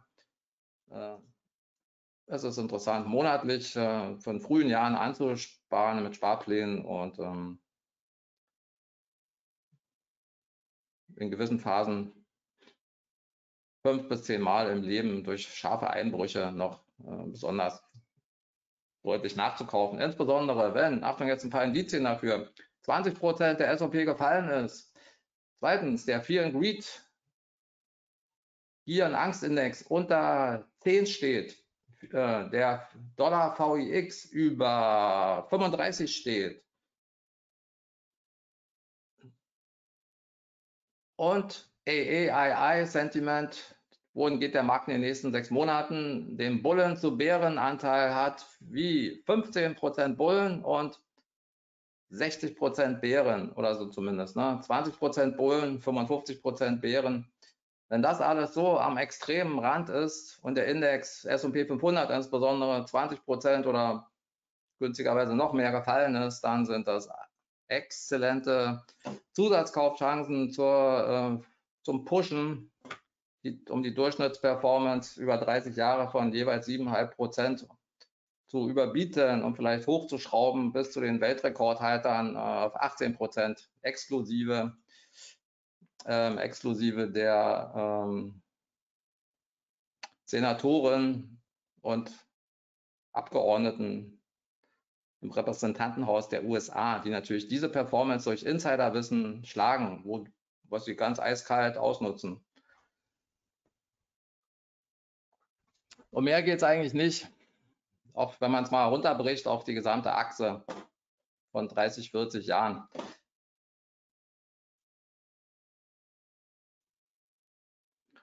So, warum der Xetra DAX 15 Minuten verspätet angezeigt wird, habe ich äh, auch schon erklärt dadurch. Put-Optionsschein für die Sommerkorrektur. Die Frage ist, wo startet die? Du weißt ja gar nicht, wo die startet. Du weißt nicht, wo die starten kann. Damit bist du schon ein Problem. Und vor allen Dingen im Herbst steht der da wesentlich höher, der DAX. Im Herbst nächstes Jahr geht der auf über 20.000. Die Ziele sind ja hier oben nochmal angezeigt. Ja, mit anderen Worten, äh, es ist wahrscheinlich besser, die Korrektur auf 17.000 zu ertragen, als mit Putz seine, seine, sein freilaufendes Depot äh, zu blockieren. Sobald du die Puts eingesetzt hast für den Sommer, blockierst du ja deine, deinen freien Lauf der Investments, die durchlaufen, weil es dann neutralisiert ist. Das kostet Geld, hat vielleicht sogar einen Nachteil, dass es gar nicht funktioniert. Und nur für den Fall, dass es wirklich funktioniert und du auch hier 17.100 oder 17.050 äh, vor dem 31. Oktober erwischt, hast du vielleicht einen Vorteil gehabt. Aber was ist, wenn es gar nicht fällt? Er steigt ja dann sowieso hier oben rein. Äh, somit ist eigentlich bisher Win-Win aus allen Ecken, wenn du einfach Long-Positionen weiterlaufen lässt oder monatlich Stück für Stück aufstockst, bei Schwäche aufstockst. Äh, was die Tendenz zu 19.817 und 22.350 ist eindeutig zu bevorzugen. Und sogar der DAX hat sich nun befreit aus seiner Lethargie der Jahre 2021, 2022, 2023 und hat frischen Aufwind durch den Anstieg über 1692. So, wie sehe ich den DAX im Juni? Das ist noch eine gute Frage. Da gehen wir noch mal kurz rein. Erstmal könnt ihr es täglich hören. Früh. Ihr könnt es täglich hören, früh am Morgen. Übrigens, der DAX macht wohl Allzeithoch vor US-Handelsstart. Der DAX sieht aus wie, er macht noch Allzeithoch vor US-Haupthandelsstart heute. Wenn du dich fragst, wie der ist noch nicht gestartet. Ja, es ist noch tiefe Nacht in den USA. Es ist äh, New York Zeit äh, 4.47 Uhr. Das ist, äh, äh, die Börse hat diese Woche noch gar nicht gehandelt in den USA. Aber, aber, meine, mein DAO, der taktet doch. Mein DAO taktet doch. Ja, das ist eine Indikation, das ist der Future im besten Fall verrechnet auf eine Indikation. Der Haupthandel mit hohen Umsätzen ist noch nicht unterwegs, also 15.30 deutscher Zeit. Ne? So, ähm, ich hatte eine Lösung gefunden, wie der DAX ein Allzeithoch machen kann, um, den, um trotzdem dem S&P 500 mit seinem Korrekturprozess aus dem Weg zu gehen. Er macht hier das hoch und dann gehen gemeinsam beide nochmal auf Korrekturpfad und dann steigen sie ab 1. Juni weiter an. Bin mal gespannt, ob es klappt. Äh, ansonsten auch hier, selbst wenn es jetzt ein Allzeithoch gibt, ist 16,2, sorry, auch wenn es eine Korrektur gibt ab dem Allzeithoch zuerst und nicht schon ab jetzt hier irgendwo, wäre 18.635 auch nachher noch interessant. Wahrscheinlich müsste man sogar 18.650 nehmen, den halben Hunderter, weil da dreht er am DAX sehr gerne mit seinen institutionellen Käufern. Die institutionellen Käufer drehen gerne an 100er, also 0,0er Marken und 50er Marken. Also gehen wir mal grob mit 18,9 zu 18,650 zu 1950. Apropos, wer 1950 geboren ist, darf sich auch mal melden jetzt im Chat. Sind alle 1973er Geborenen, haben das Kursziel vor Augen, 19.173. Kleiner Spaß am Rande. So, okay, machen wir weiter. Was haben wir noch? Äh, Amazon hatte ich am Anfang gesagt, hatte ich das gesagt, dass ich Amazon mit Abstrichen auch noch als interessante Aktie betrachte in den nächsten Tagen, weil die sind ja auf einem Sonderweg. Amazon ist äh, sehr hoch eingestuft worden ähm, im Januar als Top 1 Aktie für eine Jahrestop 10 bei mir, die monatlich sich auch, ähm, so wie ihr Ende März mitbekommen habt, äh, erweitert wird, immer wieder mal. Immer wieder eine neue Top 10, die für ein Jahr gilt. So, die Amazon war immer die Nummer 1. Dadurch, dass sie jetzt aber Rückstand hat im Verhältnis zum Ausbruch, über die Hochs von Jahr 2021 habe ich sie jetzt abgestuft. Sie ist zwar noch drin in der Top 10 äh, für Aktien, das für ein Jahr Laufzeit, aber nicht mehr die Nummer 1, nur noch die Nummer 5 oder so. Und hier bröckeln die Kurse so vor sich hin. Ne? Guck mal hier, die bröckeln so ab. Und das bietet ja nach den zwei Fehlausbrüchen am Allzeithoch 188,65 Dollar ungefähr, also sagen wir auch grob 189, bietet dann doch nochmal die Chance, billiger reinzukommen. Weil ich glaube schon, also ich bin fest der Meinung, die Auswertung sagt, er schafft das irgendwann, der Kurs deutlich über 189 hier auszubrechen, big, big, big, so wie es halt ähm, Alphabet vorgemacht hat am äh, am 1. April. Und dann ist ja hier das äh, identische Ziel, was für die anderen auch schon genannt wurde, für die Indizes. Ihr wisst, S&P 5880, Nasdaq 22.465. Ist dann einfach mal bei Amazon 317. Über 189 zu 317. So, und wir, die Zögerlichen, also auch ich, bin ja auch zögerlich. War zwar schon ab und zu bei Amazon drin, aber irgendwie, ne, das ist so. Bin ich gerade nicht drin. Habe ich doch nochmal das Glück, hoffentlich äh, etwas billiger als 189 kaufen zu dürfen. Weil irgendwann kommt zu einem Tag, da explodiert das Ding wahrscheinlich und dann ist es zu spät.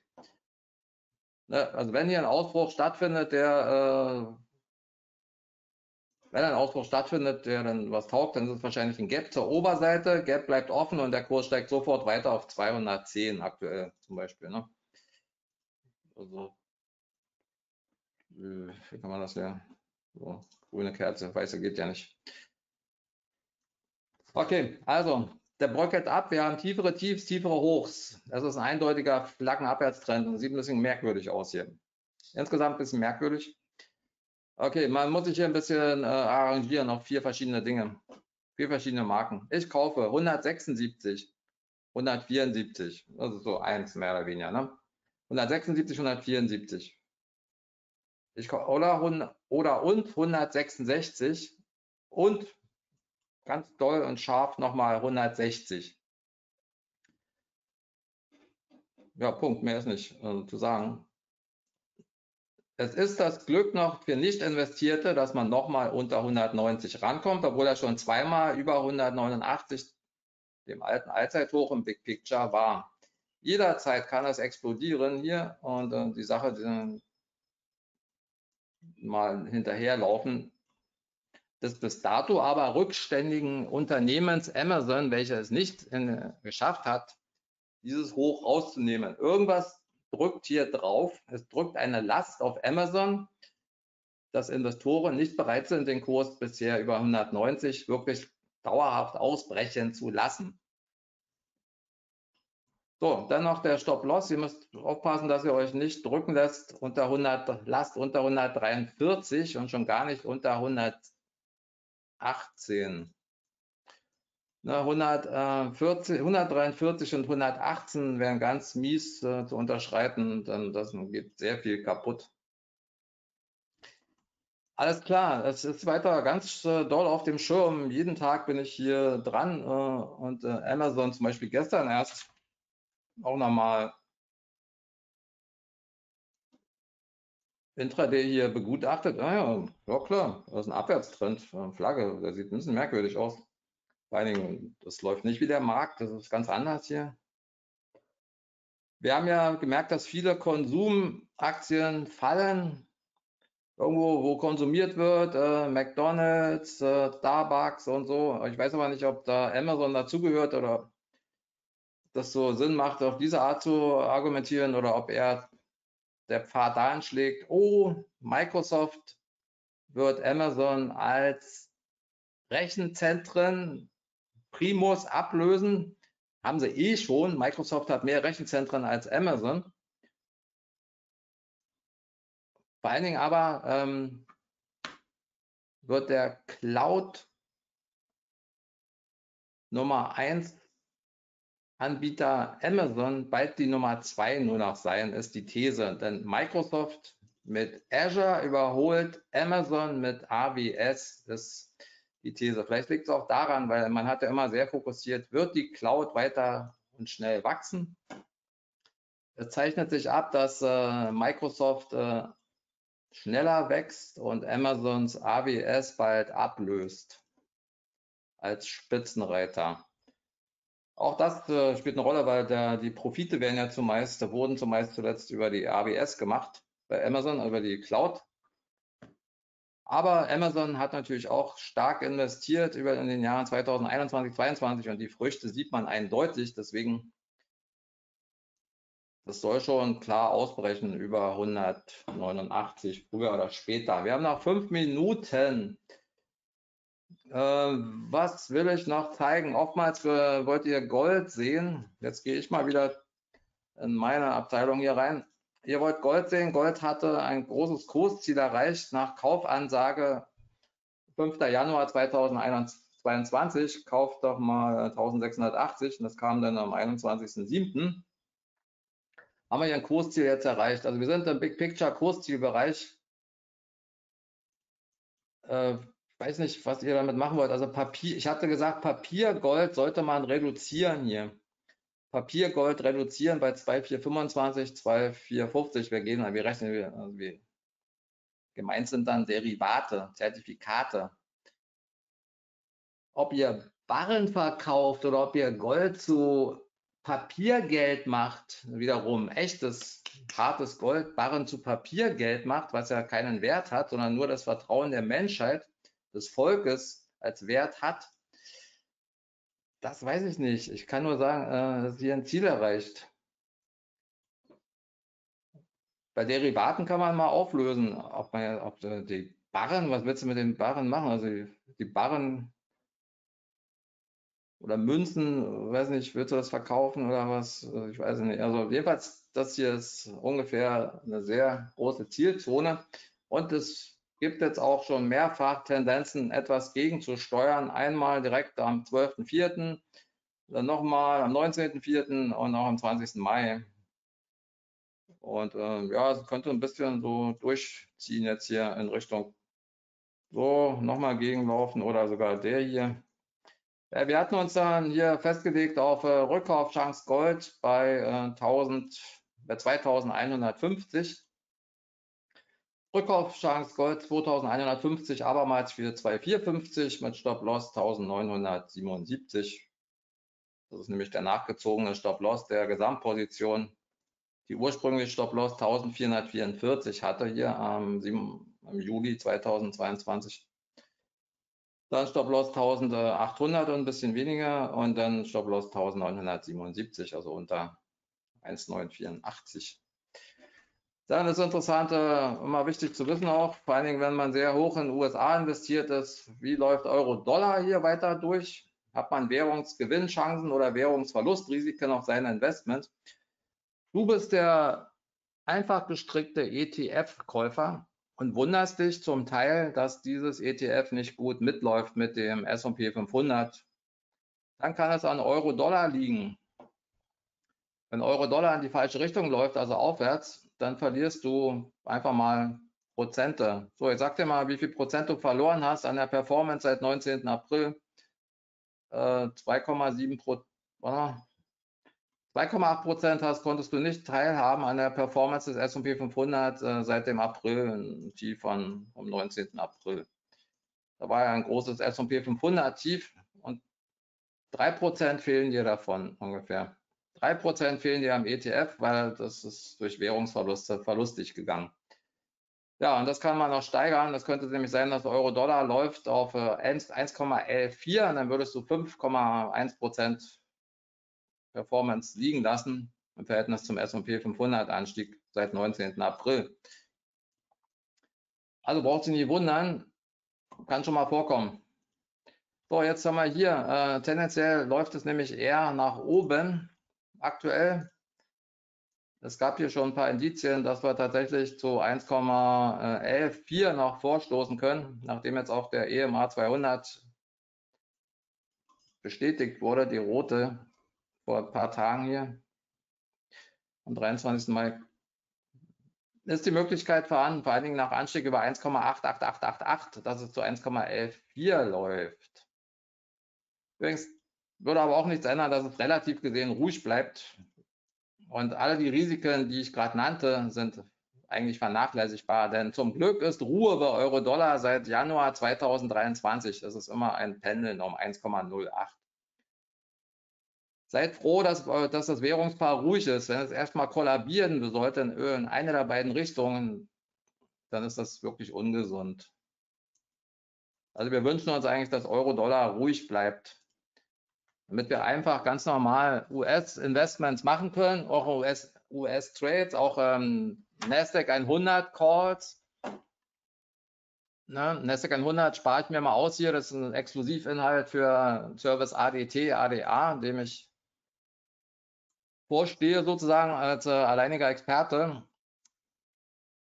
wirkt auch durch auf, auf Derivate, es wirkt auf Aktien, auf Fonds, ETFs, es wirkt auf alles durch, in beide Richtungen. Auch Puts haben denn die letzten Endes an der Geldwechselstelle, wenn du zurückwechselst von Dollar in Euro, entweder noch einen Vorteil als extra Booster oder einen Nachteil. Momentan sieht es ein bisschen aus, als ob wir ein bisschen Nachteile hätten. Äh, bis in den Juli hinein. Lustigerweise oder auch schade für uns, ehrlich gesagt, nicht lustig, ist schade. Wenn Euro-Dollar steigt, steigen die Indizes und wir haben Währungsverluste. Wir können leider nicht so richtig davon profitieren als Europäer. Und andersrum ist genauso. Wenn ähm, Euro-Dollar fällt, so wie vom 8. März zum 19.04., dann, dann, verlieren wir in den ETFs äh, oder zum Beispiel Knockout-Calls an Wert, wenn wir jetzt einfach da über die Strecke halten würden aber äh, wir haben dann äh, Gewinne in den Währungen. Schöner wäre es so, ähm, Euro-Dollar steigt auf 1,14 und der S&P 500 fällt auf 4.850.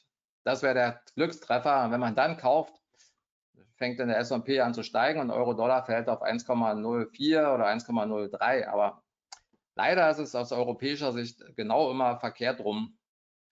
Dass äh, der Idealzustand den habe ich schon lange nicht mehr gesehen, dass es zu dem Zeitpunkt ausgerechnet dann auch Währungsgewinne gibt, wenn der Index zum Beispiel sein Herbsttief hatte, ne? hier Herbsttief. Da war ausgerechnet auch das Euro-Dollar-Tief und die gesamte Herbstrallye bis äh, 27.12. wurde dann auch mit Währungsverlusten dann hier äh, umhergegangen von 6,6 Prozent. Also an der Herbstrallye hast du 6,6 Prozent äh, Währungsverluste als Europäer zu beklagen gehabt im Verhältnis zum S&P. Ja, wenn der dann auch bloß äh, 7% gestiegen wäre bis März, äh, bis, sorry, bis Dezember, seit dem Oktober-Tief der S&P, dann hätte man gar nichts gewonnen als Europäer, während der US Räder für seinen Heimatindex äh, komplett die 7% im Kasten gehabt hätte. So, das sind also die Tücken, bei, äh, wenn man sich aufhält im, im Währungsbereich, der nicht Euro ist. Wenn du den DAX kaufst in Eurostock 50, kann das alles gar nicht passieren. Somit kommen wir zum Schluss. Der DAX zieht zum Allzeithoch. Wer hätte gedacht, der DAX zieht aus dem langen Lunden-Reversal von äh, Freitag zum Allzeithoch und muss auch da nicht äh, Feierabend machen. Er kann auch noch 19.173 abarbeiten. Es wird nur spannend zu sehen, wie nachher der US-Handel reagiert. Ich mache mal hier ein bisschen was weg. Es ist eindeutig aufwärts. Im Kanal haben wir noch ein bisschen Luft, und zwar auch für, ja, für 19.000. Morgen 19.000 zum Beispiel, ging auch schon. Oh, aber das nächste Hoch und die nächsten paar Hochs hier können auch dann irgendwie mal eine Sommerschwäche einleiten. Das ist so saisonal, so langsam ein bisschen tückisch. Und vor allen Dingen denkt dran, wir hatten hier den, ich sehe das Datum da unten nicht. Wir hatten ja hier den 15. Mai, wenn wir den so sehen wie den, 9, den, den 19. Mai vom letzten Jahr, dann ist jedes, jeder Ausbruch, der jetzt hier kommt, äh, kann so laufen. Äh, und das ich glaube, es ist nicht so gut, Ausbrüchen auf neue Hochs jetzt noch zu folgen in diesen, zu dieser Jahreszeit. Ne, aus der saisonalen Schablone raus, wie letztes Jahr. Von daher ist gar nicht so verkehrt, irgendwo hier zwischen 18,9 und 19,173 sich ein bisschen zu reduzieren vielleicht. Gut, aber Allzeithoch soll sein. Ne? Wir wollen Allzeithoch sehen und zwar sofort. Wir wollen jetzt das Allzeithoch sehen, 18,893 im DAX. Ähm, und das möglichst noch vor dem US-Handelsstart. So, ähm, wir machen jetzt gleich Schluss. Wir sind auch schon fünf Minuten drüber. Das war unsere Veranstaltung jetzt hier dass wir diese Veranstaltung jeden Monat einmal haben, das wisst ihr hoffentlich. Und ähm, äh, leider komme ich auch, warte mal. Das heißt auch, dass wir sie im nächsten Monat haben werden. Im nächsten Monat wieder am letzten Dienstag äh, im Juni.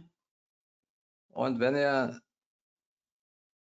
euch einmal dafür angemeldet habt, dann bekommt ihr natürlich auch die entsprechenden Hinweise natürlich per Mail zugeschickt. Vor allen Dingen diese Mail-Sache, meine Leute, stellt euch bitte lieber Notifikationen ein auf unserer Plattformseite, äh, um die Informationen auch gesichert zu bekommen.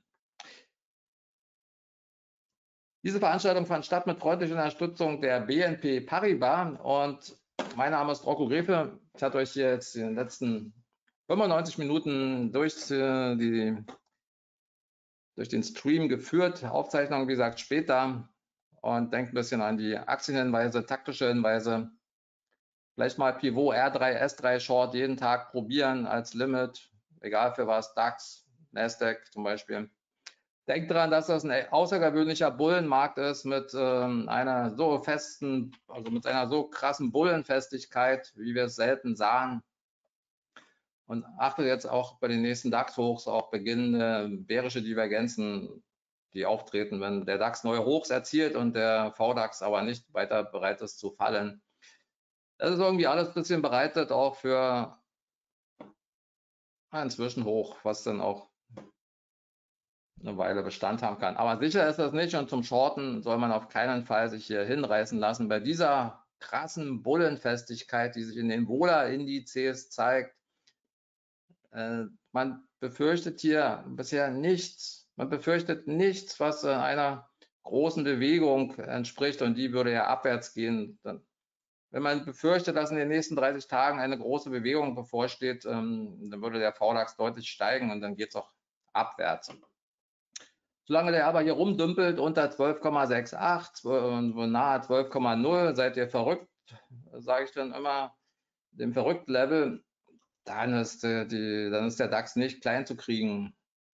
Dann steigt er einfach immer weiter.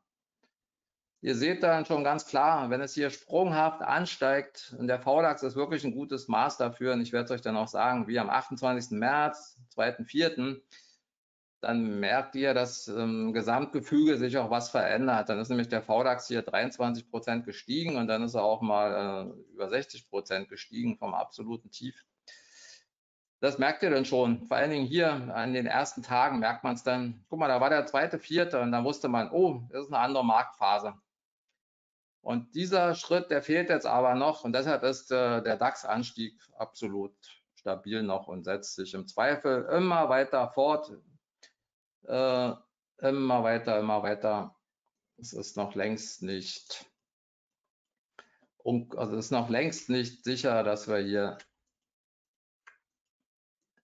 zeitnah ein ganz markantes Hoch sehen. So, allerletztes, wir hatten Ausbruch über 18,567, ein paar Tage Anstieg, ein paar Tage Pullback, die 18,567 wurde bestätigt und da die 18,567 bestätigt wurde, am Freitag geht es weiter aufwärts bis eben das Freitagstief unterschritten wurde. Dann geht es nicht mehr aufwärts und nur dann. Damit beschließe ich die Sache und lasse auch den Chart hier offen und sage noch Tschüss, schöne erfolgreiche, ähm, eine schöne erfolgreiche Woche, die jetzt auch richtig mit dem ähm, US-Markt einsetzen wird. Meine Güte, bin ich dunkel. Liegt aber an mir und dem Stock 3 Ding. Ja, ich habe gemerkt, die Stock 3 ähm, äh, die Stock 3 weiße Kleidung hier, die macht irgendwie alles dunkel. Kannst du machen, was du willst mit Scheinwerfern. Vielleicht sieht es aber auch nur so aus. Gut, also tschüss und schöne Woche. Bis zum nächsten Mal. Ansonsten geht es jetzt weiter hier im Service ADT, ADA. Dann legen wir jetzt los und ich habe noch ein paar Aktien, die ich heute begutachten muss zum Kauf. Ansonsten die nächsten Tiefs, ne? Die Tiefs unter den Donnerstagstiefs sind für mich Käufe in den USA. Tschüss.